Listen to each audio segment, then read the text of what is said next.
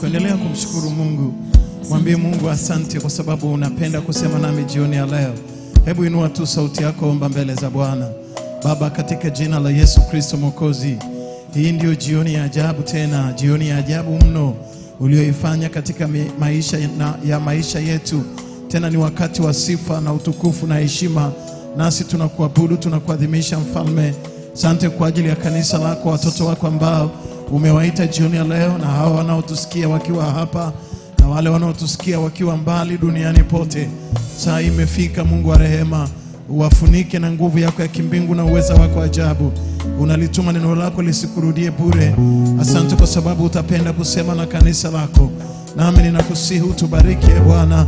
Damu yako ya thamani katunenee mema kinyume cha mabaya yote. Tunavunja maroho yote ya uasi, mamlaka za giza, nguvu zote za kuzimu. Tunavunja vifungo na nira na laana na mateso na huzuni kwa damu ya Yesu Kristo inenayo mema. Basi Mungu Mwenyezi, ulibariki kanisa lako wewe mwenyewe, upende kusema nasi jioni ya leo. Uliweke neno lako katika kinywa cha mtumishi wako, hata aseme nasi na kutabiri juu yetu kama ulivyosema kwa kinywa cha Eliya, kwa kinywa cha Elisha, kwa vinywa vya manabii wako watakatifu, e Bwana na mitume. Useme na kanisa hata leo. Ninasimama kinyume na maumivu na magonjwa na madhaifu ya kila namna ambayo watoto wako wamebeba katika miili yao, kila aina ya huzuni na mizigo mizito walioibeba tunaitua kutoka katika mabega yao katika jina la Yesu. Tunavunja nira na vifungo na laana na manguvu ya giza na mauti katika jina la Yesu Kristo wa Nazareti aliye hai. Bwana, ulibariki kanisa lako na nguvu yako ya ajabu. Utubariki Mungu Mwenyezi, damu yako ya thamani katunenee mema. Baba na Mwana na Roho Mtakatifu, amen.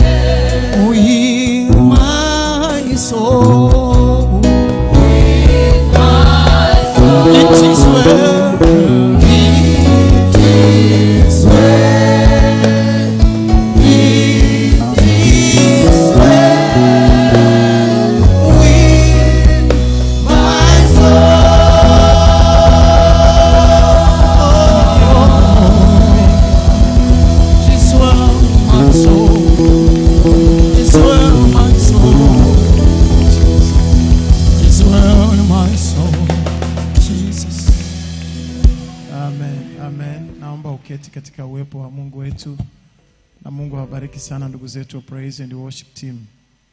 Ninawakaribisha jioni ya leo katika ibada hii ya Evening Glory, the School of Healing. Ninawakaribisha wote nyumbani mwa Bwana. Tazama, yeye anasema siku moja nyumbani mwake yafaa sana kuliko siku elfu mahali pengine. Kwa hiyo kuwepo mahali hapa, acha nguvu ya Mungu ikakuhudumie kwa namna ya ajabu na ya pekee. Ninakukaribisha sana katika uwepo wa Mungu wetu, ninyi mlioko hapa, lakini wale wanaotusikia duniani kote, nguvu ya Mungu ikapate kuwahudumia.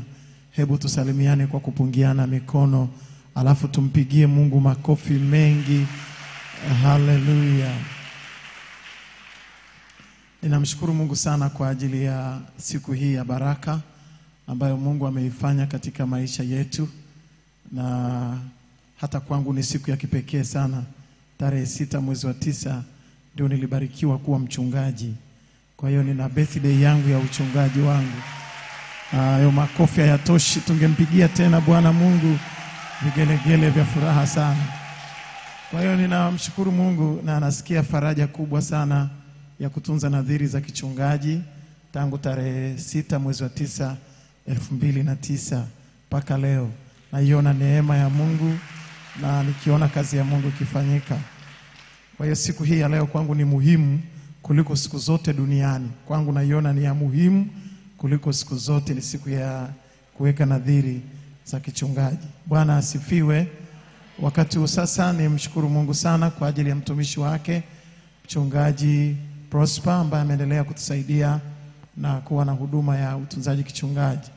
Pale nje pana nakala za DVD mbalimbali mbali, mafundisho na masomo na mfululizo wa nakala chache. Baada ya ibada hii unaweza ukapata nafasi ya kuchukua nakala chache. Basi kwa heshima na kwa unyenyekevu mkubwa nimshukuru tena ndugu yetu uh, Engineer Goodluck Moshi ambaye amefanyika baraka sana hapa katika ibada ya asubuhi na ya jioni, na nikukaribishe kwa ajili ya ujumbe wa neno la Mungu. Wale ambao wamebarikiwa na wanabarikiwa na, na mtumishi wa Bwana wangepiga makofi mengi kabisa ya shangwe. Ongeza tena mengine ya Bwana ya makofi na vigelegele. Haleluya.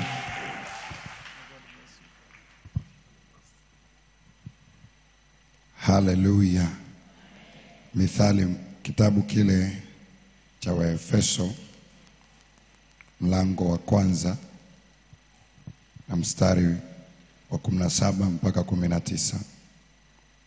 Waefeso mlango wa kwanza mstari ule wa 17 mpaka ule mstari wa 19.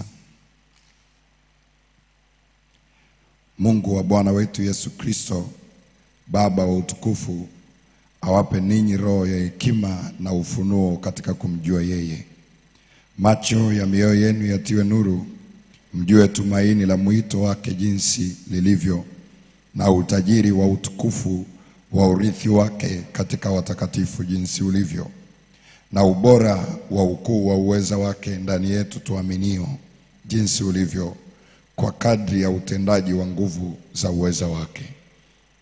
Ni neema tena umetupa Bwana, na ukanipa mbele za uso wako kusimama kukutumikia, nami nikijua kabisa ni kwa neema kabisa Bwana, si kwa njia ya matendo au kwa sababu ya utakatifu.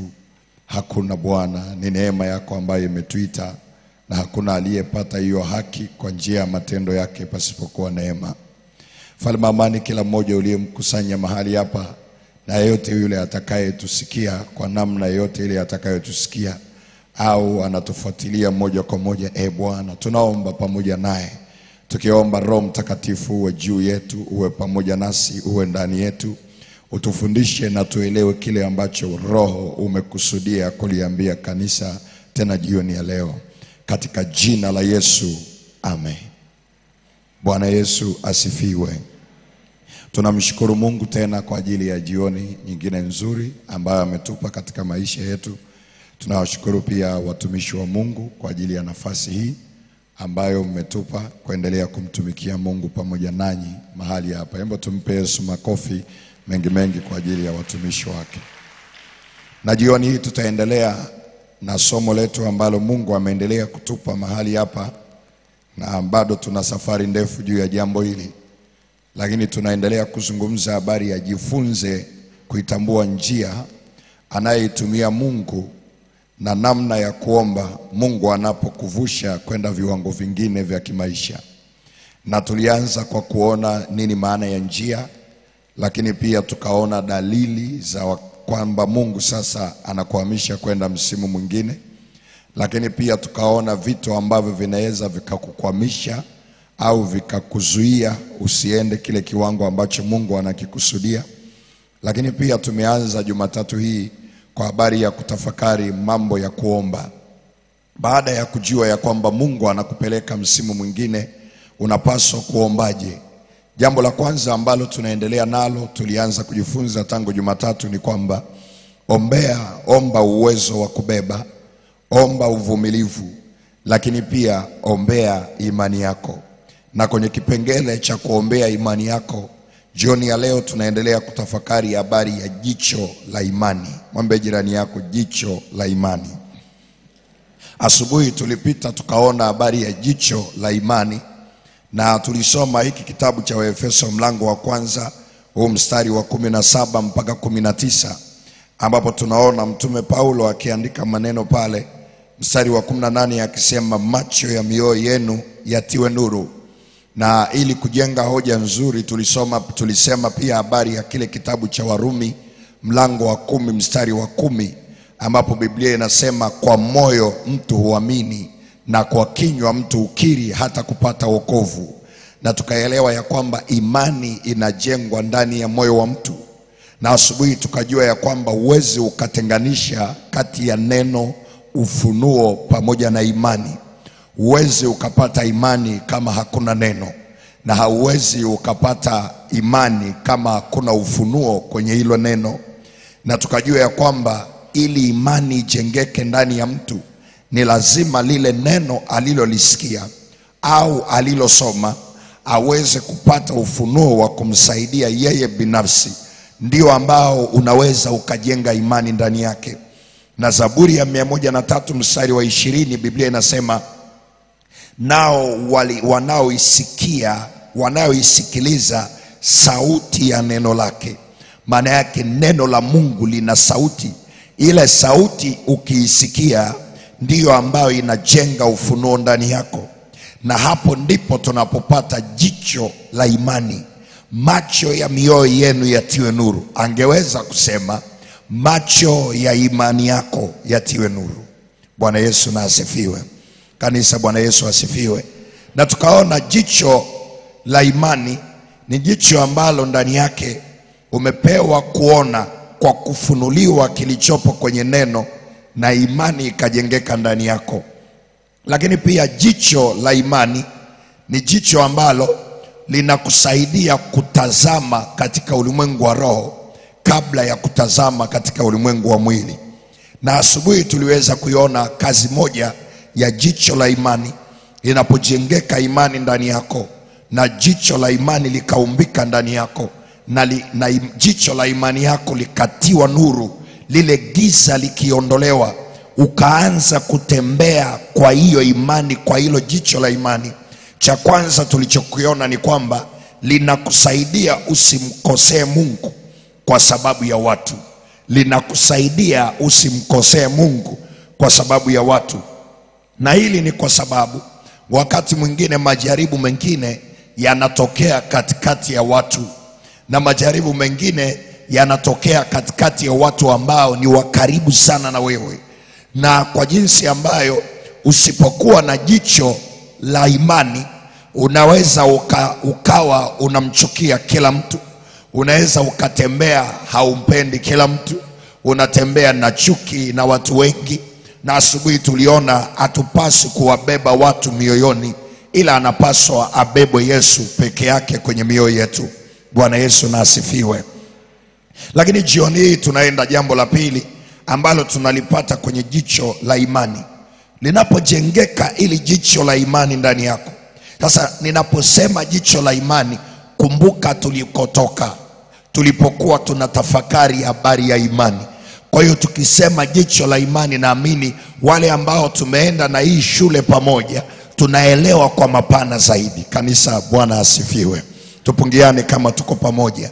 Na jambo la pili ambalo sasa hili jicho la imani linalifanya kwenye maisha yetu, linatusaidia kuwa na mtazamo sahihi juu ya sababu ya kumpenda Mungu na kumcha Mungu. Linatusaidia kuwa na mtazamo sahihi juu ya sababu ya kumpenda Mungu na ya kumcha Mungu. Bwana Yesu na asifiwe. Mithali mlango wa ishirini na tatu mstari wa saba Mithali mlango wa ishirini na tatu mstari wa saba anasema au maana aonavyo mtu nafsini mwake ndivyo alivyo. Maana aonavyo mtu nafsini mwake ndivyo alivyo, au atazamavyo mtu nafsini mwake, au mtazamo wako ulivyo ndani yako ndivyo ulivyo. Na hapa tunataka tuone mtazamo ulio sahihi wa kwa nini umpende Mungu, wa kwa nini tumche Mungu, kwa nini tumtumikie Mungu, kwa nini tuutafute uso wake bila kuchoka, kwa nini tuendelee kujenga mahusiano naye. Sababu ya kwa nini unampenda Mungu ni ya muhimu sana, ili kuweza kupata baraka pamoja na kupata zile ahadi ambazo Mungu ametukusudia. Sababu ya kwa nini unampenda Mungu, sababu ya kwa nini unamcha Mungu, sababu ya kwa nini unatembea na unatafuta kutembea kama anavyotaka ni ya muhimu sana. Bwana Yesu na asifiwe.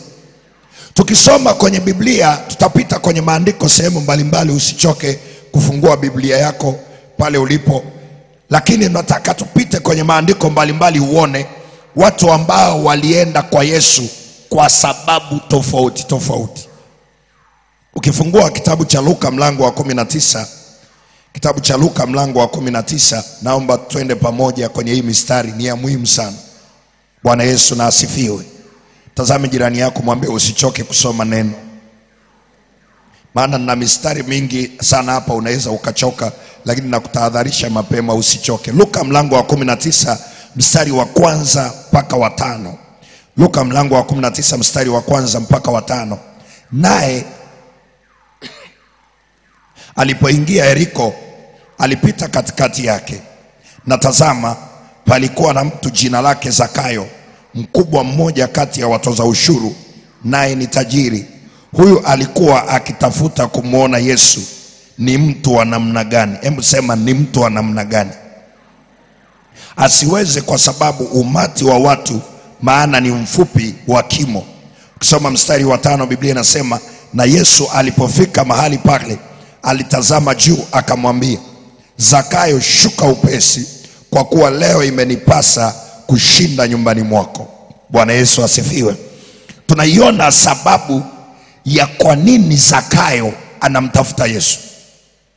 Zakayo anatafuta kumwona Yesu, sio kwamba alitaka Yesu aende nyumbani kwake. Zakayo anatafuta kumwona Yesu, sio kwamba anataka afuate kile Yesu anachosema. Aa, amesikia habari zake kiasi ambacho anatamani amtazame huyu mtu maarufu namna hii ni nani. Kwa hiyo yeye shida yake kubwa ilikuwa ni kumwona Yesu, akishamwona ni wa namna gani. Biblia inasema wazi kabisa, alitaka kujua huyu Yesu ni mtu wa namna gani. Kanisa, Bwana asifiwe. Hii nayo ni sababu ya kwa nini mtu anamtafuta Yesu. Mtu anaweza akatafuta Yesu kwa sababu tu amesikia habari zake, lakini nataka nimwone. Kuna mtu mwingine anaweza akafika mahali anamtafuta mchungaji kinyaa, sio kwamba anamtafuta anahitaji kitu chochote, nataka nimwone huyu mtu si kanisa kama tunaenda pamoja. Huyu mtu anafanana naye, anafananaje? Maana yake hiyo nayo ni sababu. Bwana asifiwe. Angalia kitu kingine, Yohana mlango wa sita, Yohana mlango wa sita ule mstari wa ishirini na sita na wa ishirini na saba. Anasema hivi, Yesu akawajibu akasema, amin amin nawaambieni, ninyi mtanitafuta, ninyi mnanitafuta. Sio kwa sababu mliona ishara, bali ni kwa sababu mlikula ile mikate mkashiba. Msinitende, ms, msikitendee kazi chakula chenye kuharibika, bali chakula kidumucho hata uzima wa milele, ambacho mwana wa Adamu atawapa, kwa sababu huyo ndiye aliyetiwa muhuri na Baba, yaani Mungu. Nataka tuone sababu nyingine hapa kwenye huu mstari. Hawa watu walikuwa wanamfuata Yesu lakini Yesu alipochunguza mioyo yao akagundua hawamfuati Yesu kwa sababu wanahitaji neno, ila wanakumbuka jana yake, majira mafupi, muda mfupi uliopita, walikula mikate. Bwana asifiwe. Walikula mikate wakashiba, kwa hiyo wanamtafuta Yesu ili wale tena mikate. Yesu akawaambia, amin amin nawaambia, hamnifati kwa sababu nyingine, ila mnanifata kwa sababu ya mikate. Sasa hawa wanamfata Yesu kwa sababu wana njaa. Hiyo nayo ni sababu. Mwambie jirani yako, hiyo nayo ni sababu. Bwana Yesu asifiwe. Hii ni sababu wanamfuata Yesu ili wale. Jana wamekula mikate, hawana shida na hilo neno unalosema, hawana shida na habari ya wokovu unaoongea, wana shida na mikate. Kwa hiyo wakipata mikate wamemaliza, wasipopata mikate hawajapata kile walichokitaka. Twende, twende mistari mingine. Marko mlango wa pili mstari wa kwanza mpaka wa nne. Marko ule mlango wa pili tusome mstari wa kwanza mpaka wa nne, alafu tutaruka tutasoma mstari wa kumi na mbili. Anasema akaingia Kapernaumu tena baada ya siku kadhaa kadha, akasikiwa ya kwamba yumo nyumbani, wakakusanyika watu wengi isibaki nafasi hata mlangoni, akawa akisema nao neno lake. Wakaja watu wakimleta mtu mwenye kupooza, anachukuliwa na watu wanne, na walipokuwa hawawezi kumkaribia kwa sababu ya mkutano, walitoboa dari pale walipokuwepo, na wakiisha kuivunja wakalitelemsha godoro alilolalia yule mwenye kupooza. Na Yesu alipoona imani yao akamwambia yule mwenye kupooza, mwanangu, umesamehewa dhambi zako. Mstari wa kumi na mbili anasema mara akaondoka akajitwika godoro lake akatoka mbele yao wote, hata wakastaajabu wote, wakamtukuza Mungu wakisema, namna hii haijapata kuonekana kamwe. Kusoma mstari wa kumi na tatu akatoka tena akaenda kando ya bahari. Hao watu wamefika ni kama hapa kwenye hii ibada, ibada inaendelea na neno linaendelea kufundishwa, na kule nje pamejaa na huku ndani pamejaa. hakuna sehemu ya kupita mtu.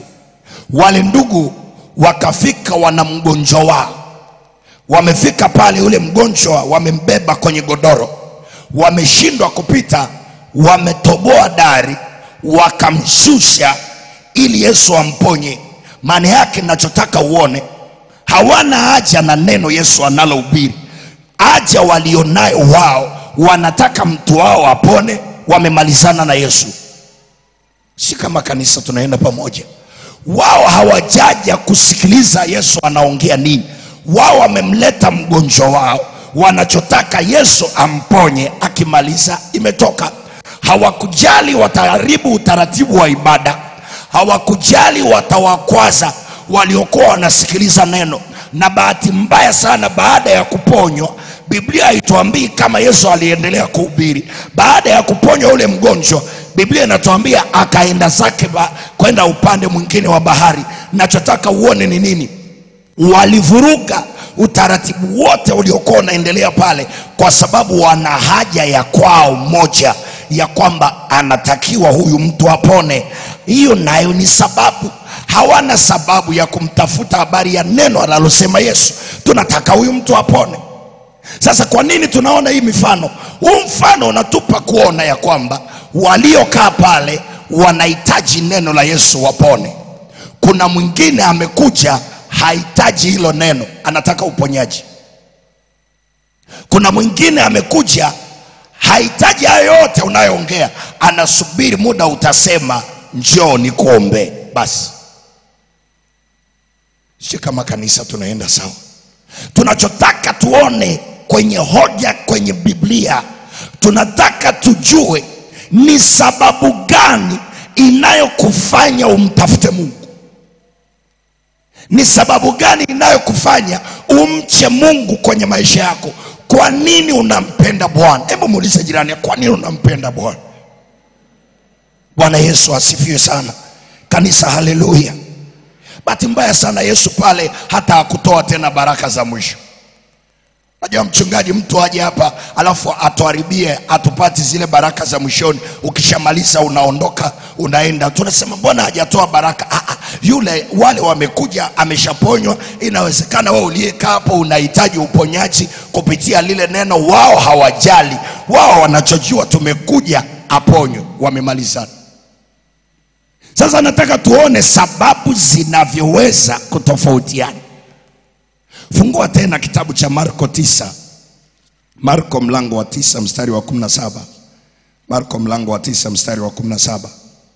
Mpaka ule mstari wa kumi na tisa alafu tutaruka tutasoma ule wa ishirini na tisa. Anasema mtu mmoja katika mkutano akamjibu, Mwalimu, nimemleta mwanangu kwako, ana pepo bubu, na kila ampagaapo humbwaga chini, naye hutoka povu na kusaga meno na kukonda. Nikasema na wanafunzi wako wamtoe pepo, wasiwezi. Hebu sema wasiwezi. Angalia mstari wa 19, akawajibu akasema, enyi kizazi kisichoamini, nikae nanyi hata lini? Nichukuliane nanyi hata lini? Mleteni kwangu. Mstari wa 29 akamwambia, namna hii haiwezi kutoka kwa neno lolote isipokuwa kwa kuomba. Twende pamoja. Huyu ndugu yeye amekuja kwa Yesu na nia ya kuja kwa Yesu tutaiona na tutaielewa tu. Amekuja kwa Yesu, kuna mtoto wake yeye anapagawa na pepo, na yule pepo kila anapompagawa anakuwa bubu na anaanza, Biblia inatuambia anatoa povu na kusaga meno. Maana yake hapa anaelezea ndio kile ambacho tunaita kifafa. Maana yake anadondoka, anakuwa kama ana kifafa. Sasa angalia, Biblia inatuambia akaanza kumwelezea Yesu, akamwambia ujue tu nimekuja kwako kwa sababu wanafunzi wako niliwapelekea huyu pepo hawakuweza. Kwa lugha nyingine, wali unaweza, kuna wengine wanamfuata Yesu ili wajaribu kama na yeye ataweza. sio kwamba wanamfuata yesu wana uhakika. Ah, ah, wamekuja na wao watesti hivi na yeye anaweza? Maana wanafunzi wake walishindwa. Na kuna watu ambao tunatembea kwa kumweka yesu kwenye nafasi ya chini sana kiasi ambacho sio cha kawaida. Ametoka kwa mganga huyu ameenda kwa mganga yule ameenda kwa mganga yule amemaliza. Ameenda kwa mtumishi yule kwa mtumishi yule kwa mtumishi yule. E, yaani anajaribu anawafanya watumishi na wao kama waganga wa kienyeji. Kama yesu tutamweka kwenye ngazi aliyomweka huyu anaweza akakaa kimya na ni haki yake akae kimya kanisa bwana asifiwe. Tazame jirani yako mwambie kuna kujaribu. Muulize jirani yako na wewe unajaribu au una uhakika?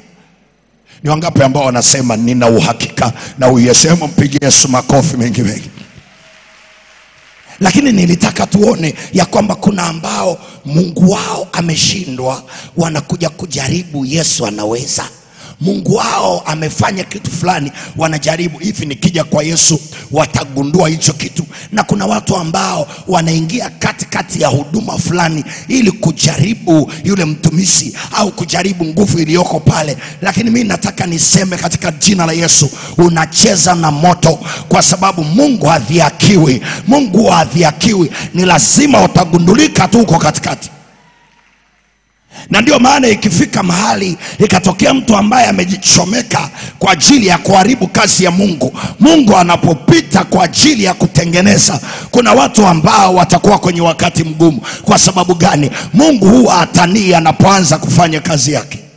Kanisa bwana yesu asifiwe. Sasa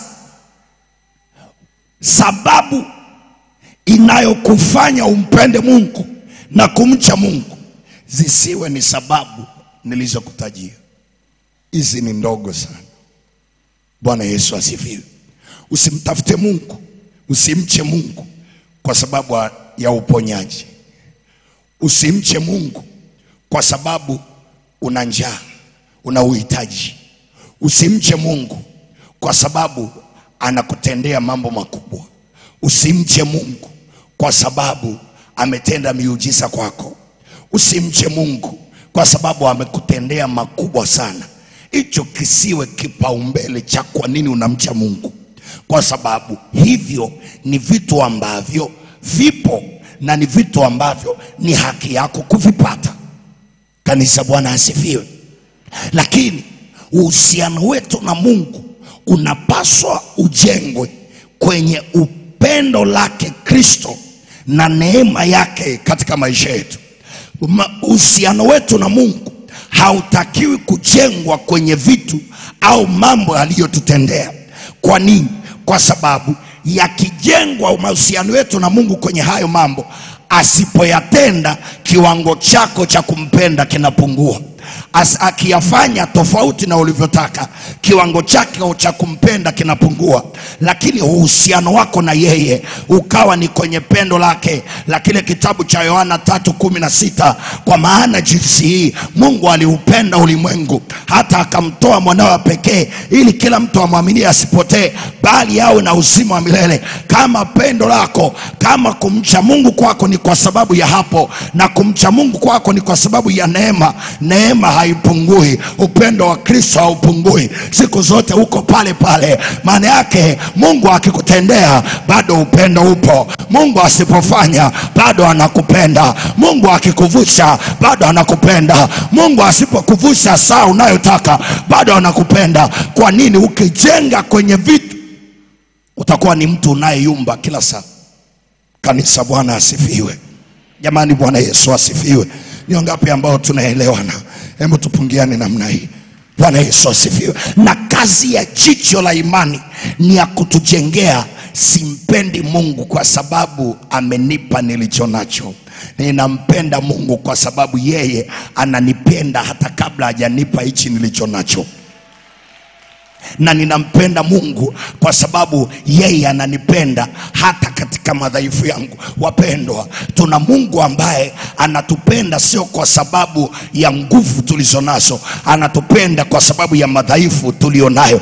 Na Yesu alitumwa sio kwa ajili ya nguvu ulionayo, Yesu alitumwa kwa ajili ya madhaifu yetu. Nimekuja kukitafuta kile kilichopotea cha nyumba ya Israeli. Kwa hiyo Yesu hajawahi kumrudisha mtu ambaye ana madhaifu. Kama Yesu anaweza akatupenda, kama Mungu wetu ana upendo namna hiyo, basi msingi wa mahusiano yetu tusiujenge kwa anayotenda, tuujenge kwenye upendo wake, na hiyo ndiyo pona yako kanisa. Haleluya! Mgempigia Yesu makofi kama unaelewa kitu anachosema. Maana yake utafika mahali tunakumbushana mstari aliyosema Paulo, nimejifunza kuwa radhi na hali yoyote niliyonayo. Najua kuona njaa, ninajua kushiba, ninajua kuwa nacho, najua kuishiwa, lakini nayaweza mambo yote katika yeye anitiaye nguvu. Maana yake ni kwamba upendo wake hauko kwenye mali alizonazo sio kwa sababu ya mali. Hampendi Mungu kwa sababu ya watoto, hampendi Mungu kwa sababu ya kampuni, hampendi Mungu kwa sababu ya uchumi wake, hampendi Mungu kwa sababu ya mali. Anampenda Mungu kwa sababu yeye ni Mungu wake na atabaki kuwa Mungu wake. Na ndio Wakristo ambao Mungu anawatafuta. Sikia, mwembe sio mwembe kwa sababu huzaa maembe, bali unazaa maembe kwa sababu ni mwembe. Bwana Yesu asifiwe. Mwembe sio mwembe kwa sababu unazaa maembe, ila unazaa maembe kwa sababu ni mwembe. Mungu sio Mungu kwa sababu anakutendea, ila anakutendea kwa sababu ni Mungu wako. Kwa hiyo tusijaribu kujenga mahusiano yetu kwenye vitu vinavyofuata. Kitabu kile cha Mathayo sita mstari wa 33 anasemaje? Utafuteni kwanza ufalme wake na haki yake, na hayo mengine yote mtazidishiwa. Maana yake ni sawa na uambiwe, ukijibu swali la kwanza unapata swali la pili automatically. Wao utajibu swali lipi? Unapambana kujibu swali la kwanza ili upate la pili, lakini wengi tunajenga mahusiano yetu kwenye swali la pili. Kwa nini unakimbilia kumpenda Mungu? Kwa sababu amekutendea. Na ndio maana tuna wachache, tuna watu wengi wanaosifu na tuna watu wachache wanaoabudu. Tuna watu wengi wanaomsifu Mungu, lakini tuna watu wachache wanaomwabudu Mungu. Kumsifu Mungu ni kumrudishia sifa kwa yale matendo aliyokutendea. Bwana Yesu asifiwe. Na ndio maana tunasema mahali nimepita nimeuona mkono wako, ndio maana ninasema wewe ni Ebeneza. Maana yake kuna mahali amekuvusha, lakini kumwabudu Mungu is unconditional, no matter what bado ni Mungu wako, haijalishi amefanya. Maana yake wewe bado unasema wewe ni mtakatifu. Sawa, ujala, wewe ni mtakatifu, hajakuvusha, you are holy, bado unamwambia wewe ni mtakatifu. Kwa sababu gani? Worshiping God is unconditional. Haijalishi una furaha, haijalishi una haijalishi una huzuni, lakini kumwabudu Mungu is must, kwa sababu yeye habadiliki. Niko ambaye niko Alfa na Omega, yeye alikuwepo na atabaki kuwa yeye. Haijalishi wanadamu watabadilika, milima itabadilika, wafalme watabadilika, but he is still our God. Hakuna atakayeweza kumtoa kwenye kiti chake cha enzi. Anahitaji kuabudiwa peke yake. Haijalishi ndani yako na huzuni, usipoteze kumwabudu Mungu. Haijalishi ndani yako unalia, lakini usiache kusema you are still my God, no one like you. I worship you Lord, you are the Alpha and Omega. I give you glory, you deserve to be glorified. I honor you. Haijalishi unapita wapi, pe Yesu makofi na vigelegele. Haleluya! Na ndio maana Mungu hasemi na watafuta wanaonisifu katika roho na kweli, anasema na watafuta waniabuduo katika roho na kweli. Hao ndio wanaotafutwa. Kwa nini? Kwa sababu worship is unconditional. Ngoja niwaambie jambo gumu. Unajua Kuna watu ambao wana bidii ya kumwabudu Mungu wao hata kama ni kwa sheria. Wayahudi wanaingiaga mara ngapi kanisani kwa siku? Si mara nne, mara nne, sivyo? Wanaingia mara nne, mara nne. Watumishi wanasema mara nne, wanaingia mara nne. Haijalishi una furaha, haijalishi una furaha, haijalishi umeuza siku hiyo hujauza lakini pia wenzetu wanaingia mara ngapi? Haijalishi una raha una raha, na kuna wengine ambao akiwa anakuuzia kitu hai, ikifika ule muda atakwambia subiri. Kama huwezi kusubiri, they are very serious, wanakomaa. Mkristo sasa, muda wa ibada ndio muda ambao anaenda kuuza akipigiwa simu amewasha gari anakuja ibadani. Kuna mwingine akipigiwa simu, hebu njoo dukani, kuna mzigo tunahitaji wa milioni tatu, anatuma bahasha kanisani. Tutaabudu kiasi gani? Yaani hela tu imekuyumbisha. Je, vikija vingine? Tupone kwa jina la Yesu Kristo wa Nazareti. Kanisa, haleluya! Kitu gani ambacho nataka kusema? Nataka kusema hatutakiwi kujenga mahusiano yetu kwa sababu ya vitu anavyotenda Tunajenga kwenye pendo la Kristo, tunajenga kwenye pendo. Ni kwa nini unampenda Bwana? Ni kwa sababu ananipenda upeo. Hata hii hewa ninayovuta sijawahi kulipia, sijui ningekuwa nimelipia kiasi gani, na sijui ningekuwa nimeishi kiasi gani. Tungekuwa tunalipia mitungi ya gesi, wengine mchungaji, tungeshakufa siku nyingi hapa, lakini asante Yesu, nikifanya uh, msalaba unalipia uh, msalaba una haleluya.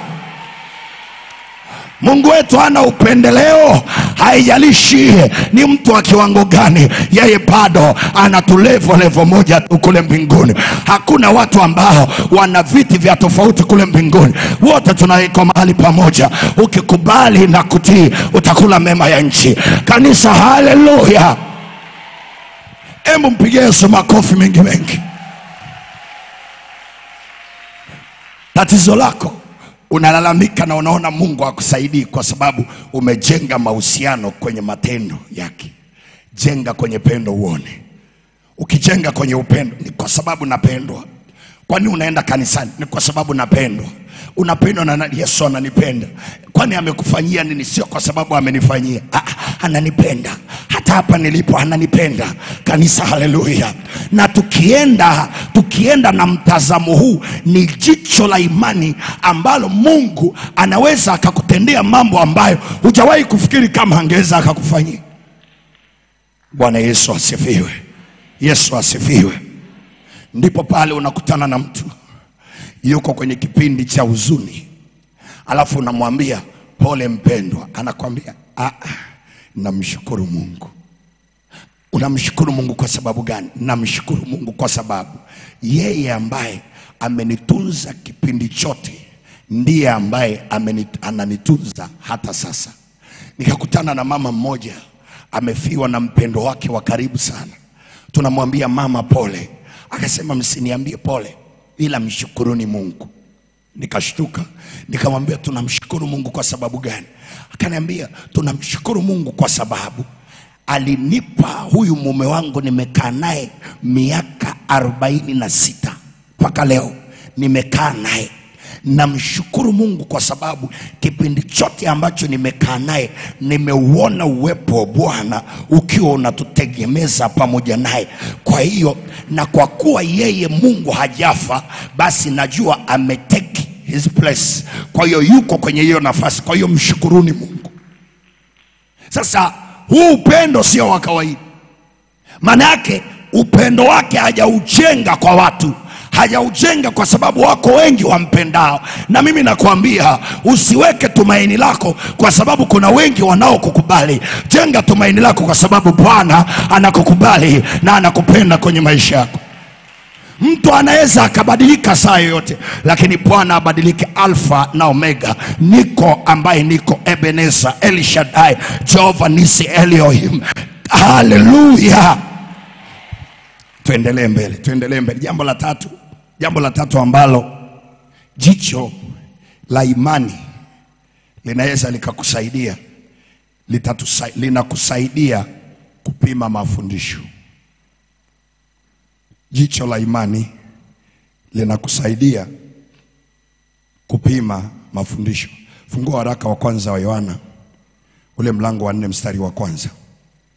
Waraka wa kwanza wa Yohana mlango wa nne mstari wa kwanza anasema, wapenzi, msiamini kila roho, bali zijaribuni hizo roho kwamba zimetokana na Mungu, kwa sababu manabii wa uongo wengi wametokea duniani. Wathesalonike wa kwanza mlango wa tano mstari wa ishirini na moja. Wathesalonike wa kwanza mlango wa tano mstari wa ishirini na moja anasema jaribuni mambo yote, lishikeni lililo jema. Jaribuni mambo yote, lishikeni lililo jema. Wathesalonike wa kwanza mlango wa tano mstari wa ishirini na moja. Kanisa, Bwana Yesu asifiwe. Wapendwa, Bwana Yesu asifiwe. Jicho la imani litatusaidia kupima mafundisho. Biblia inatuambia habari ya kuzijaribu hizo roho. Biblia inatueleza habari ya kuzijaribu hizo roho. Usiamini kila roho, usiamini kila mafundisho. Yapime kwanza hayo mafundisho, zipime kwanza hizo roho. Na kitabu cha Wathesalonike anatuambia jaribuni mambo yote na lishikeni lililo jema. Maana yake katika mambo yanayokuja kwako, yako ambayo ni mabaya, tunapaswa kuyajaribu.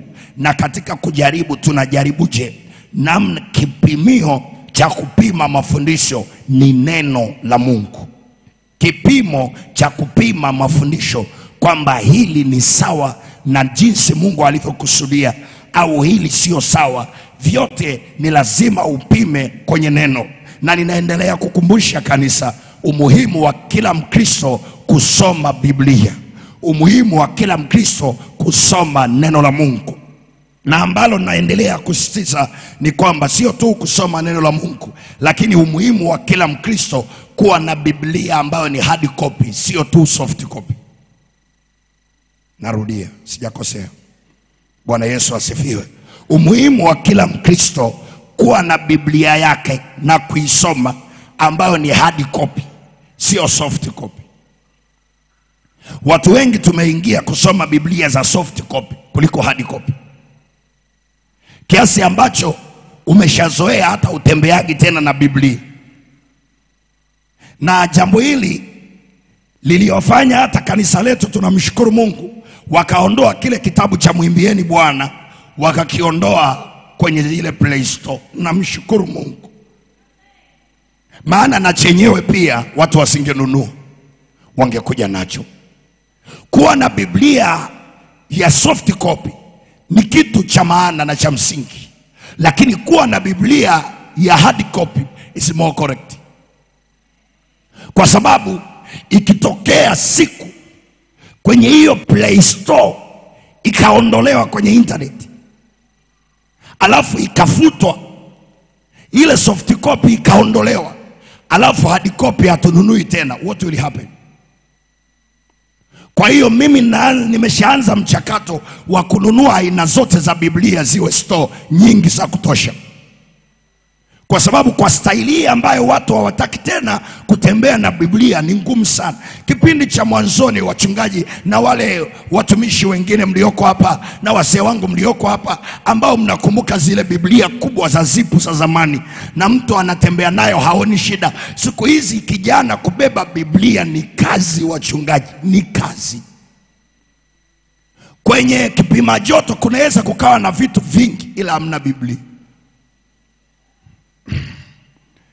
Kama ninakusema punga tu mkono, mwambie Mungu, nimepona, nitaanza kubeba kanisa. Haleluya!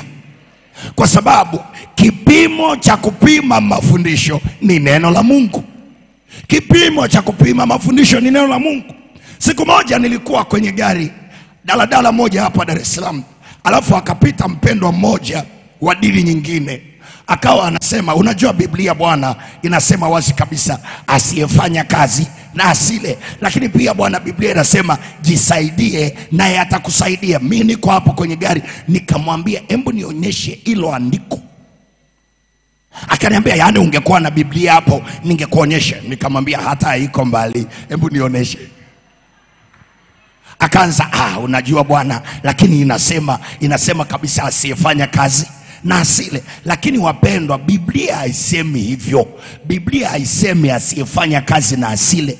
Biblia ninayosoma kwenye wathesalonike biblia ninayosoma kwenye wathesalonike inasema kitu kingine tofauti kabisa. Wathesalonike wa pili mlango wa tatu ule mstari wa kumi anasema kwa kuwa hata wakati ule tulipokuwapo kwenu tuliwaagiza neno hili kwamba ikiwa mtu hataki kufanya kazi. Hebu tuseme wote hataki basi asile chakula. Maana yake ni kwamba hataki kufanya kazi. Nguvu ya kufanya kazi anayo. Uwezo wa kufanya kazi anayo. Kwa kifupi ni mvivu. Haruhusiwi kula. Lakini yule ambaye hawezi kufanya kazi anaruhusiwa kula. Kwa sababu kama ingesema asiyefanya kazi na asile basi waliolazwa pale mwimbili haturuhusiwi kwenda kuwaona tumebeba vyakula kwa sababu hawafanyi kazi. Biblia mungu yuko makini na neno lake. Sasa nikamwambia biblia haisemi hivyo na nikamfungulia nisingekuwa na biblia ingekuwaje angeendelea kubaki na hilo neno na yesu wetu aendelee kutukanwa. Kuna mahali ambapo unahitaji kuwa na gombo la chuo liko limefichwa mahali. Akiinuka mtu anasema uongo unalichomoa kama bunduki namna hii. Unamwambia hebu nionyeshe limeandikwa wapi. Kwa nini? Usipokuwa na neno usipokuwa na neno uwezi ukapima neno. Tuangalie waberoya mla matendo kumi na saba. Tuwaone waberoya walichokuwa wanafanya. Matendo kumi na saba hawa beroya matendo kumi na saba mstari wa kumi na kumi na moja. Mara hao ndugu wakawapeleka paulo na sila usiku hata beroya. Nao walipofika huko wakaingia katika sinagogi la wayahudi. Maana yake wakaendelea kufundisha. Watu hawa walikuwa waungwana kuliko wale wa thesaloniki. Kwa kuwa walilipokea lile neno kwa uelekevu wa moyo. Angalia kinachofuata. Wakayachunguza maandiko kila siku waone kwamba mambo hayo ndivyo yalivyo. Maana yake namaliza kuhubiri hapa uishie hapa na wewe unaenda kuchukua biblia unaanza kupitia mstari kwa mstari. Je yule mtumishi aliyekuwa anaongea pale alichokuwa anakisema kiko kwenye neno? Ndivyo aberoa wanavyofanya lakini wakristo wengi tukishafundishwa tunaliamini lile neno alilosema mtumishi. Wapendwa hata sisi tunaishi kwa neema ya mungu. Na wewe hakikisha ya kwamba una biblia ya kwako unaenda kupima. Sio kila ambacho kinasemwa kinaweza kikakusaidia vingine lazima umtafute roho mtakatifu akusaidie kuchambua lakini lazima uwe na neno. Sasa tunadanganyika kwa sababu hatuna neno. Tunadanganyika kwa sababu hatuna neno. Wakati mwingine unakutana na mtu anaanza kubiri na anaanza kukufundisha. Sasa ili kupima na kujua huyu mtu huyu anayesema hiki anachosema chunguza yafuatayo ili uweze kujua ya kwamba hapa hapa kuna maslahi ya mtu binafsi sio ya ufalme wa mbinguni. Angalia la kwanza. Wakati anaendelea kukufundisha au akishaomba kwa ajili yako huyo mtumishi anakufundisha ili umtegemee nani? Anakufundisha ili umtegemee nani? Ukisoma zaburi ya 125 mstari wa kwanza anasema wamtumainio bwana ni kama mlima sayuni. Hautatikisika. Nachotaka uone na ujiulize ndani yako yule anayekufundisha anakufundisha kumtegemea nani? Je anakufundisha kumtegemea mwanadamu? Anakufundisha ya kwamba hapa huwezi ukapata uponyaji mahali pengine popote isipokuwa kuja hapa kwangu? Au anakufundisha nini anakufundisha ukipata shida yoyote unipigie simu. Yaani usipige mahali pengine hakwambii uombe anakwambia ukipata shida nipigie simu. Ukiona kitu cha namna hiyo yesu anaondolewa kwenye nafasi kaa vizuri na mungu wako. Kanisa haleluya. Kanisa haleluya. Ni wangapi tunaenda pamoja? Haiwezekani yesu aondolewe kwenye nafasi. Yesu ukiona yesu anaondolewa kwenye nafasi anza kuwa makini mguu wako ukae vizuri. Uliza mguu wako nilishawahi kula nini nikakunyima? Kanisa bwana asifiwe. Lakini lingine angalia imani yako inaelekezwa wapi. Imani yako inaelekezwa wapi? Ukifungua yohana 14 mstari wa kwanza biblia inasema mnamwamini mungu niaminini na mimi. Maana yake imani yako inapaswa kuelekezwa kwa yesu peke yake. Imani yako inapaswa kuelekezwa kwa yesu peke yake. Na mtu anayeponya hakuna mwanadamu yeyote mwenye uwezo wa kuponya. Narudia. Hakuna mwanadamu yeyote mwenye uwezo wa kuponya isipokuwa mungu aliye hai kumponya mtu kupitia mtumishi wake. Nitaelezea vizuri hili eneo. Yule punda aliyembeba yesu akaingia naye yerusalemu akatandikiwa nguo na akatandikiwa vitu mbalimbali akapita kwa heshima. Akienda leo yerusalemu atapigwa viboko. Japo ni punda yule yule aliyeingia anashangiliwa ajaribu leo kwenda ili ashangiliwe hatashangiliwa. Kitu gani? Watumishi tunambeba yesu na kama tumembeba yesu kinachotupa heshima ni yule tuliyembeba sio sisi. Kwa hiyo tukianza kusema mimi ndiye ninayeponya hakuna mwingine tunakushangaa sana anayeponya ni yesu peke yake kanisa. Anayeponya ni yesu peke yake. Kakutana na mpendwa mmoja akaniambia mtumishi hivi unamfahamu mzee fulani alikuwa mbishi sana kuokoka. Nikamwambia ndio, namfahamu. Nilimwokoa. Hebu mwangalie jirani yako usoni. Nisaidieni mwangalie jirani yako usoni. Mwambie huyu mtu ungemsaidiaje? Mchungaji aliniambia nilimwokoa. Swali nililomuuliza hebu niambie ulikufa siku ngapi msalabani? Kiasi ambacho ukapata uwezo wa kumwokoa mtu. Maana yake inafika mahali mtu anaelekeza imani za watu kumwamini yeye kuliko yesu. Tunalikataa hili jambo peupe kwa jina la yesu haiwezekani mtu kuaminiwa anayestahili kuaminiwa ni yesu peke yake. Ni mungu wetu aliye hai. Sisi ni watu tuliombeba yesu. Hata sisi usitutazame kama watu watakatifu sana. Wenyewe na sisi tuna mapambano yetu. Ukituona tuombee pia tunahitaji pia maombi yako. Lakini ukiona tunatumika hapa ni neema tu ya mungu. Kanisa haleluya.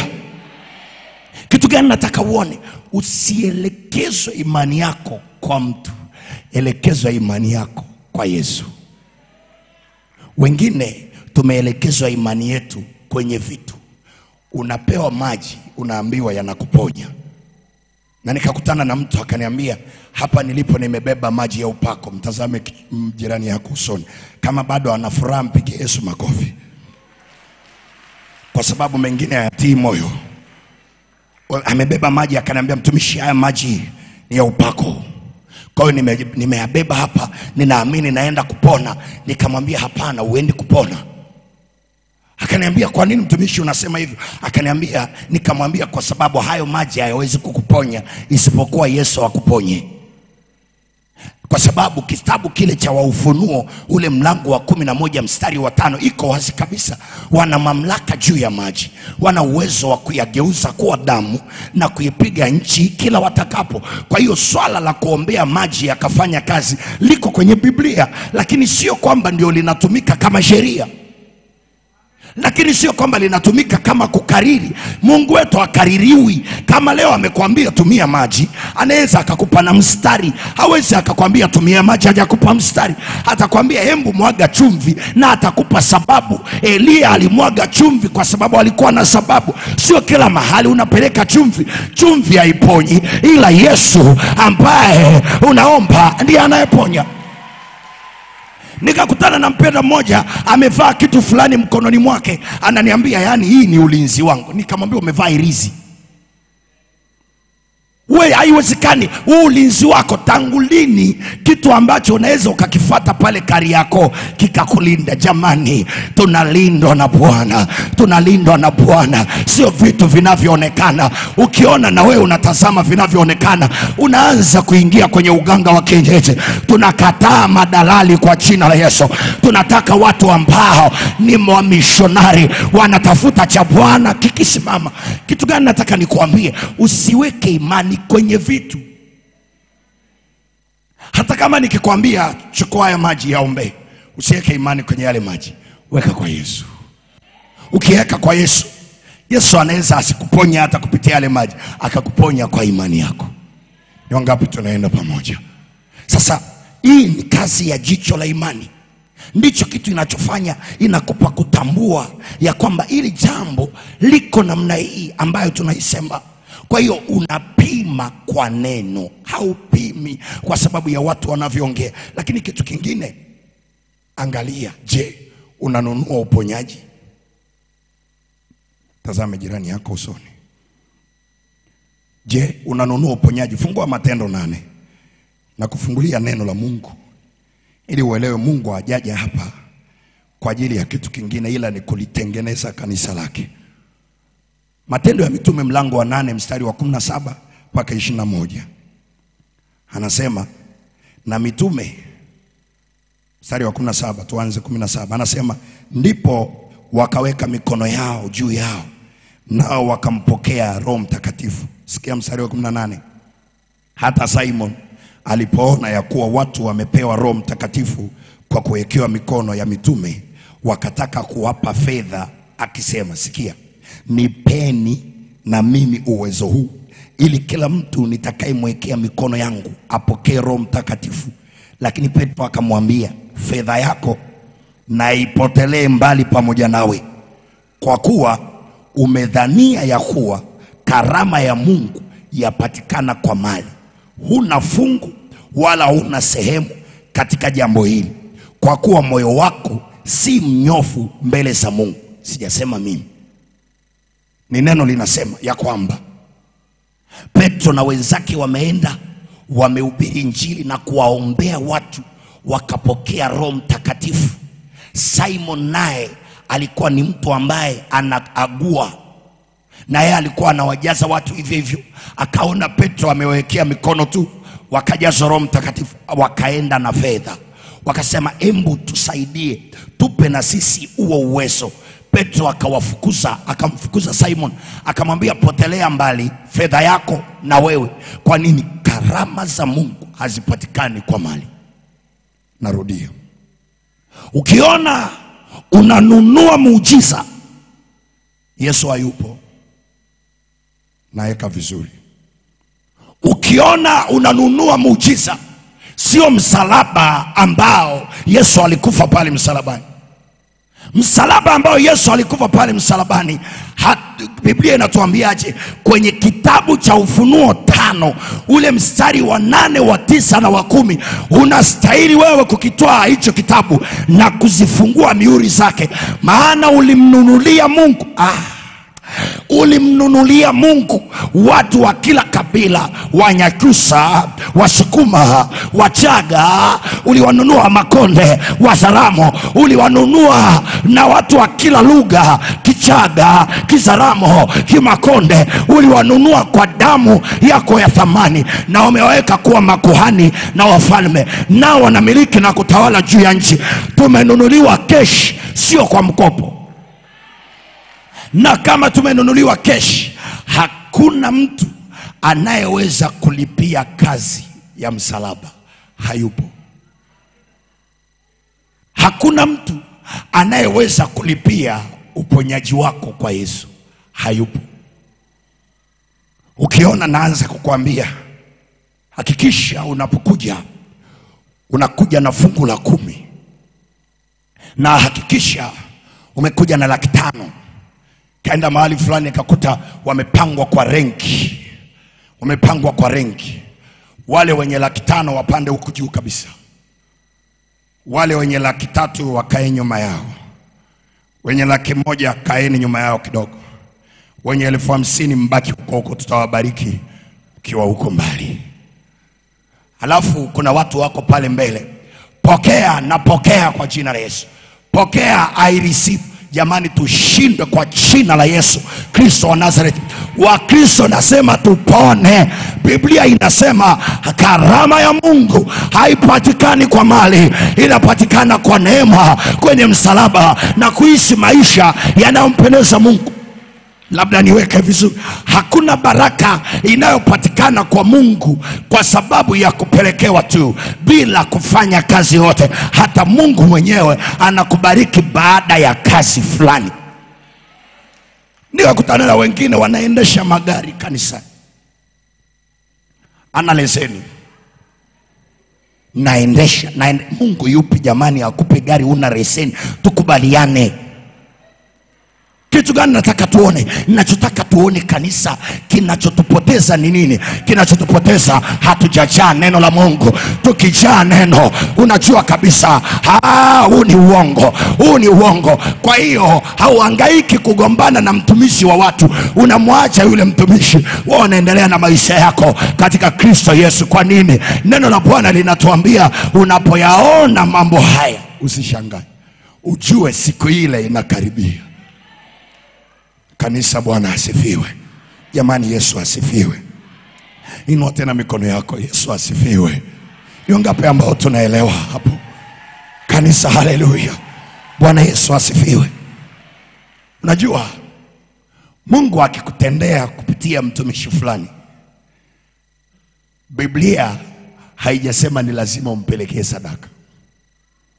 Ila biblia inasema mwenye moyo wa kupenda amkarimu. Lakini sio mtumishi akupangie. Akwambie yaani ukienda ukibarikiwa hakikisha umerudi hapa. Achana na mimi. Kwa sababu sijaja kukutafuta wewe. Nimekuja kutafuta mungu hapa. Na mimi ni mmojawapo wa mtu ambaye katika vitu ambavyo huwa ninachunguza napima kwenye neno.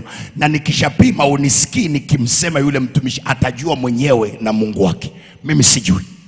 Lakini naposoma neno nikakuta kilichosemwa ni tofauti. Kakutana na mmoja anahubiri habari ya mamajusi akasema mamajusi walienda kumwona yesu. Wakaenda kumsujudia. Jamani wa kristo mamijusi yasitushinde chungaji kweli wana theolojia mtuse. Kweli yale ni mamijusi jamani. Sasa katikati ya hayo mahubiri kuna watu wako amen. Jamani tupimwe tupimwe. Na wako amen. I receive jamani mamijusi kwenye biblia yako wapi maana yake hapo unajua kabisa hao wote wanaofundishwa hapo neno hamna. Nataka kusema ni hivi kabla ujaja ujaenda kufundishwa mahali popote uwe podo lako limejaa. Ukifika pale hakuna mtu wa kwenda kukupa usiende ukiwa empty. Ukifika pale unaenda kuongezewa nguvu. Ukifika pale kama nguvu yako ni kubwa hata kuliko walioko pale utajua tu. Kwa sababu yanayofundishwa unaona kama mbona sielewi. Ukiona kama uelewi biblia inasema sio kila kitu ni chakula. Ndio maana biblia imetupa masikio mawili na mdomo mmoja. Unasikia mawili you select the best then you talk. Kanisa haleluya jamani kanisa haleluya. Tunasema na kanisa kwa habari ya nafasi ya jicho la imani. Linachomfanya mkristo mkristo ambaye ana jicho la imani huwezi ukamyumbisha. Ana msimamo katika neno. Na anajua neno linachosema ni nini. Isaya 42 mstari wa nane anasema kitu kingine pale. Isaya 42 mstari wa nane anasema jambo la ajabu pale. Anasema mimi ni bwana ndilo jina langu na utukufu wangu sitampa mwingine. Wala sitawapa sanamu sifa zangu. Anasema hivi hatampa mwingine utukufu wake. Sasa inapofika mahali watumishi tunataka kuchukua nafasi na utukufu wa yesu jamani kanisa tunaenda pabaya na tutakubali tutaomba hapa kwa jina la yesu tupangue hiyo roho iachie kanisa. Haiwezekani watumishi kuchukua utukufu wa mungu. Mungu akitenda watu waelekezwe kwamba aliyetenda. Sio mtu ni mwana, ni mungu aliye hai ni mwana wa mungu ndiye aliyefanya na sisi ambao tunasikia hili neno kuanzia leo tusiwatazame watu. Tuangalie mungu aliye hai. Na ukimwangalia mungu utaiona thamani ya yule mtumishi. Utaona umuhimu wa kumwombea. Utaona muhimu wa kusema neno kwa ajili yake kwa ajili ya maisha yake kwa ajili ya familia yake. Kwa nini mtazamo wako umebadilika? Kanisa bwana asifiwe. Tazame jirani yako usoni mwambie umeelewa. Naomba tusimame tuishi naomba tusimame naomba tusimame. Bwana yesu asifiwe. Kanisa haleluya. Yesu asifiwe. Mpaka hapo ninaamini unaweza ukapima na ukaanza kujua ninapimaje kujua ya kwamba hapa ninapokaa hapa hapa hakuna mungu wa kweli. Mungu akitupa neema tunaweza tukasogea zaidi hapo kadri siku ambazo mungu anaendelea kutuweka hapa. Tuone hata ambao wanaweza wakasimama wakitumia jina la yesu lakini ndani yake hatumii jina la yesu. Unaanza kuona anakemea pepo unafikiri ya kwamba anatumia jina la yesu. Biblia inasema si kila anayesema bwana bwana anaye atakayeuona ufalme wa mbinguni ile kwamba panatajwa yesu sio kwamba inamaanisha ni yesu unayemfahamu. Kwenye biblia kwenye matendo ya mitume kuna yesu mwingine. Aliitwa baali yesu alikuwepo na sisi tunazungumza habari za yesu ambaye ameshafufuka. Kwa sababu kuna yesu ambaye alizaliwa kuna yesu ambaye alikuwa bado yuko hai lakini kuna yesu ambaye ameshakufa akafufuka. Sisi tunazungumza habari za yesu aliyekufa na akafufuka tayari na bado tunamtazamia kwamba atarudi tena kulichukua kanisa. Hey, inua mikono yako juu kabisa tunataka tuombe ombi moja muhimu sana. Tukaombe toba mbele za mungu. Kuna mahali ambapo kanisa hatujaenda vizuri. Tumetembea ndani yetu. Tunatazama vitu zaidi ya kutazama upendo wa kristo kwetu. Unatazama yale ambayo bwana hajakutendea zaidi ya upendo wake aliyokuonyesha mpaka hapo ulipo. Nina imani hapo ulipofika unao ushuhuda ambao ungeweza kushuhudia maisha yako yote mpaka uondoke duniani. Lakini hujawahi kuwaza hivyo kwamba napaswa kumpenda mungu unconditionally. Kwa sababu yeye ni mungu wangu na atabaki kuwa mungu. Hebu twende tukaombe toba. Ulilalamika kwa sababu mungu hakukujibu maombi yako. Unalalamika kwa sababu lile jambo unaloliombea muda mrefu bado lipo vile vile. Hebu twende mbele za bwana. Sema e bwana yesu ninaomba unisamehe nimesikia neno lako. Mahali pengine nimedanganywa nikadanganyika kwa sababu ya kutokujaa neno. Ninaomba toba nililalamika nikanung'unika kwa sababu ya mambo mbalimbali mbali kwenye maisha yangu. Pasipo kujua sipaswi kukupenda kwa sababu unanitendea au umeniponya au umenijaza vingi au umenipa mali au umenipa chochote ila napaswa kukupenda kwa sababu wewe ni mungu wangu na hayo mengine unanipa katika upendo wako. Kwa damu ya yesu ninaomba unisamehe. Hebu kila mmoja kwa sauti yako paza sauti omba toba paza sauti yako kabisa. Kwa damu ya yesu e bwana tunaomba toba tunaomba rehema zako e bwana tunaomba rehema zako mfalme amani. Baba ututakase. Baba ututakase. Ni kweli mungu tumeangalia mambo ambayo umetutendea tu. Tunaangalia mambo ambayo hujatutendea bwana. Tumeweka mahusiano yetu na wewe. Msingi wake umekuwa ni mambo unayotutendea. Msingi wake umekuwa ni mambo yale ambayo tunayaona umeyafanya kwetu. Kwa sababu hiyo tunatembea tunalalamika. Kwa sababu ya jicho la imani lilikuwa lijakaa sawasawa kwetu baba tunaomba toba. Endelea kuomba toba. Katika hiyo toba kuna kitu kinatokea. Kuna kitu kinatokea. Inawezekana sababu ya kumpenda yesu ni kwa sababu ya shida ulionayo. Hiyo shida akiondoa unamwacha. Au sababu ya kumpenda yesu ni kwa sababu ya kitu fulani. Hebu anza kuomba tofauti. Mungu atusamehe jamani. Yesu utusamehe. Utusamehe. Tumeishusha hadhi yako sana. Tumeishusha hadhi yako sana. Baba uturehemu. Baba unirehemu, Baba unirehemu. Nimeishusha hadhi yako, nimeshusha kiwango chako kwa kutazama mambo unayotenda, tukifikiri muujiza ndio kiwango kikubwa sana cha kupima upendo, tukifikiri ya kwamba kutendewa ndio kiwango kikubwa sana cha kupima upendo. rika rapo saya rapo korabasaka rikiriando robosa rapo korianda rabasaka araposata rikandaramosata rapakosaka. Kwa damu ya Yesu, kwa damu ya Yesu. Baba unisamehe, na jioni ya leo, jioni ya leo tunaomba neema yako, tunaomba neema yako kwa watoto wako na kwetu watoto wako, ili mahusiano yetu tusiyajenge kwenye vitu, ila tuyajenge kwenye pendo lako na neema yako Elishadai. Rapokorabasi kerandarabasata rikarapokoyapapapapa rikereposatayapa ripakurubusaya kerenderebusa paraba rapokorobusa mandira. Ikariapapapapa baba yawe yawe yawe yawe. Yawe lisaidie kanisa lako.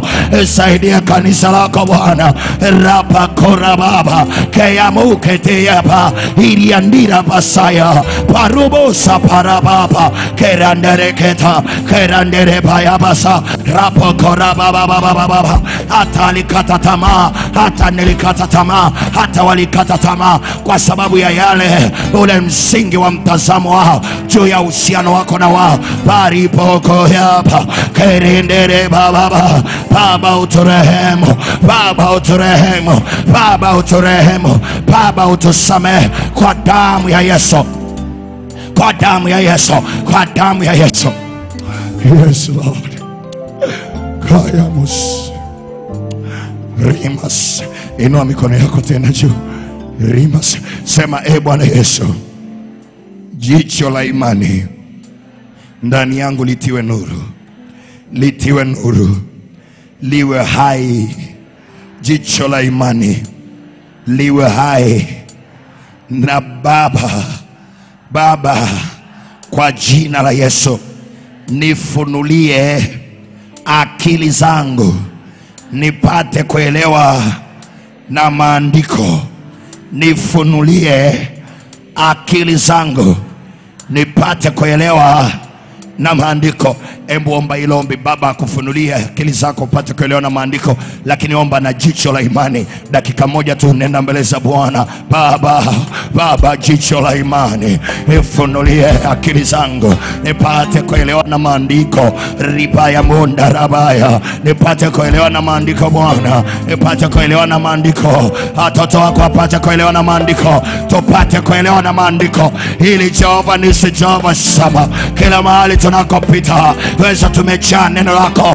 Tuwe tumejaa neno lako mandira baya. Rikapura baya masaka. Ripakarabosarabata rekandirebo-payapa kayapasata tuwe tumejaa neno lako. Oh, bwana. Oh, yawe tufunulia na akili zetu. Tupate kuelewa na maandiko. Kanisa lako. Mahali popote. Na yote anayesikia mahali popote alipo utufunulie na akili zetu ili tuweze kuona na kuelewa. Jicho la imani jicho la imani kwa damu ya yesu. Rapakorabasata kwa damu ya yesu. Sante yesu kwa neema yako ya ajabu. Pokea sifa na heshima na adhama. Sante bwana inua mikono yako. Endelea kumshukuru mungu. Riba sataya inua kabisa mikono yako juu. Inua tu. Endelea tu kushukuru mungu unastahili bwana. Hakuna kama wewe. Hakuna mwenye uweza kama wakwako sante yesu kwa uaminifu wako. Jehova, asante kwa sababu umependa kusema na kanisa lako, na usiku huu wa leo tumeuona mkono wako na nguvu yako ya ajabu. Asante kwa ajili ya wateule wako waliofika katika nyumba hii na wale wanaotusikia wakiwa mbali, na miongoni mwao wapo wagonjwa ambao wanateseka, wanapita kwenye mapito magumu juu ya miili yao. Wapo wagonjwa walioko mahospitalini na majumbani, wapo wengine walioko mahospitali ya ndani na nje ya nchi. Baba, tunaendelea kuwataja kwa majina katika madhabahu yako hii, e Bwana, wote kabisa kwa jina la Yesu Kristo. Ninawaombea roho ya uzima na uponyaji tunasimama kinyume na roho ya mauti juu yao, kila aina ya mauti ambayo yanashikilia maisha yao, magonjwa ambayo hata madaktari wameangalia hawajaona.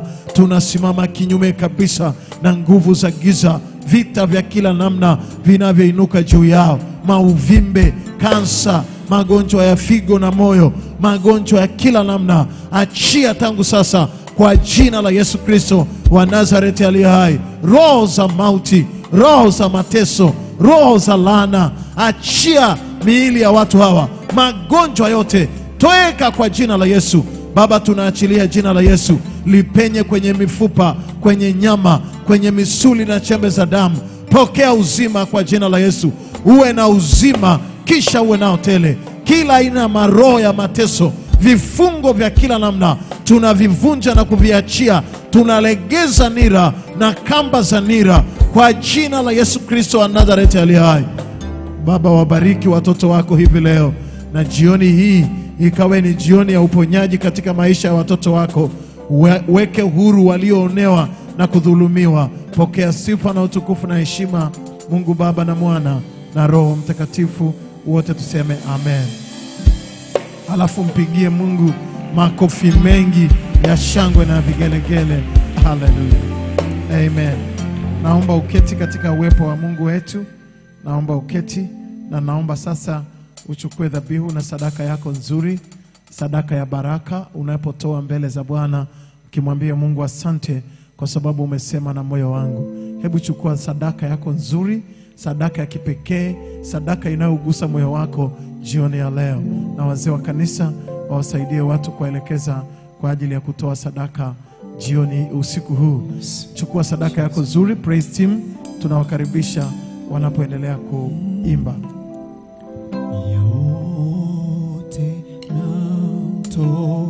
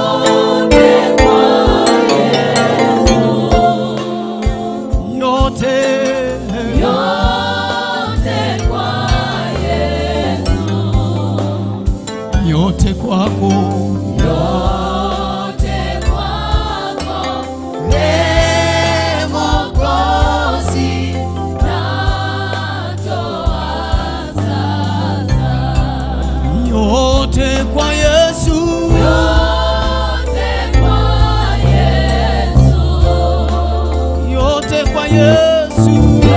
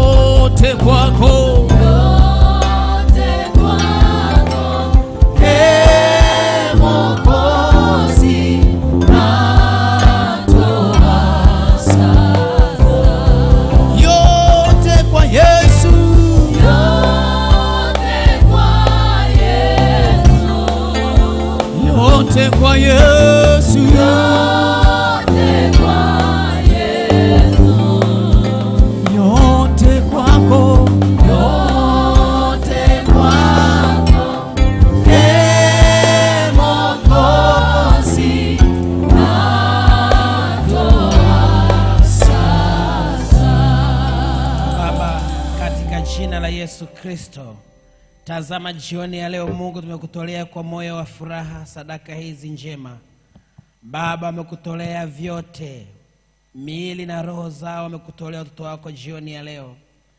Mungu, umetufundisha neno lako la uzima, e Mfalme. Mungu, asante kwa ajili ya shule hii ambayo Mungu umepita tena masikioni mwetu. Roho Mtakatifu na makusudi na maisha yetu na ndio maana kwa nyakati hizi Bwana umetamani tujifunze juu ya haya yote ambayo Mungu amekusudia kutufunulia katika maisha yetu. Asante kwa ajili ya mtumishi wako uliyemtumia tena jioni ya leo kusema nasi. Nasi Mungu tunakuomba neno hili likapate kufanya kazi katika maisha yetu, nasi tukalifanyie kazi kwa utukufu wa jina lako.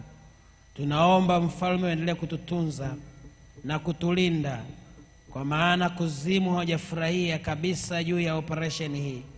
Nao Mungu ameinua malipizi na visasi ili kulipiza, kwa maana Bwana wamevurugwa kule kuzimu sasa.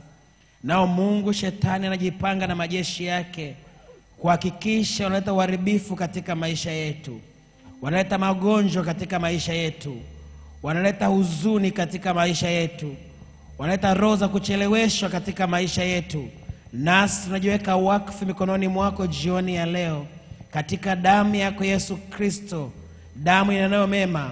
Mungu, tunajichovya katika damu hiyo, ikatufunike e Bwana, kwa maana damu ilipomwagika msalabani, tetemeko likatokea la ardhi, hata kuzimu kukatetemeka. E Bwana, vizuizi vilivyozuia watu wako kuona mkono wako kule hekaluni, o pazia la hekalu likapasuka katikati, nasi tukapata nafasi ya kusogea patakatifu pako kwa nguvu ya damu yako Yesu Kristo, ikatufunike jioni ya leo, nasi tukatembee katikati ya wingu hilo, e Mfalme, na kuzimu na majeshi yake na wachawi na wavinyamkera na wote wauao mwili na roho wasipate nafasi katika maisha haya. Tulinde jioni ya leo tunapotoka mahali hapa, tupe furaha ya mioyo yetu. Wale wote wenye mizigo katika mioyo yao, e Bwana, tutoke tumefunguliwa katika ibada hii. Wale walioingia na watu mioyoni mwao wakawaachilie katika madhabahu hii, e Bwana Mungu. Walioingia na historia mbaya wakatoke na historia mpya katika maisha yao. Walioingia na madeni lukuki wakatoke wamefunguliwa njia zao, kwa jina la Yesu Kristo Mwokozi. Tulinde usiku huu e Bwana, na kwa neema yako utuamshe tena wenye nguvu hapo kesho kwa utukufu wako. Asante e Bwana, kwa kuwa ni mwaminifu siku zote. Amen. Pokeeni baraka za Bwana. Mungu akubariki na kulinda. Bwana akuinulie nuru za uso wake na kufadhili. Bwana akuinulie nuru za uso wake na kupa amani. Akubariki Mungu Mwenyezi uingiapo na utokapo. Uitwe heri na mbarikiwa siku zote, kwa jina la Baba na la Mwana na la Roho Mtakatifu. Amen. Mshangilie Bwana Yesu kwa makofi. Natakia baraka za Bwana mnapotoka mahali hapa. Msisahau pale nje matoleo yetu ya mafundisho haya, kama mchungaji alivyotangaza. Jipatie nakala yako, nakala zako kwa ajili ya library pale nyumbani, ili kwa vizazi vijavyo wapate kuona kile ambacho umekuwa ukijifunza katika usharika huu. Bwana akubariki sana, endelea kutuombea, endelea kuombea ibada hii, na Mungu awalinde na muwe na usiku mwema siku zote. Praise team. Unaweza, unaweza, haujawahi kushindwa.